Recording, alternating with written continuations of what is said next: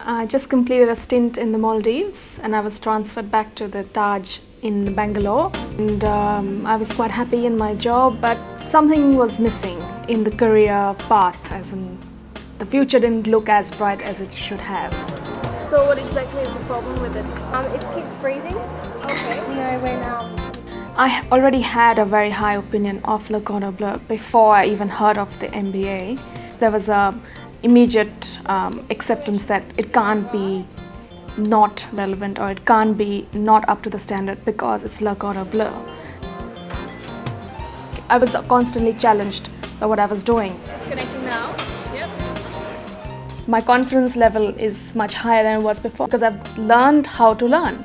Because what you learn in a, in a MBA is how it should be. I mean, what you aim towards setting up, what kind of systems you should have.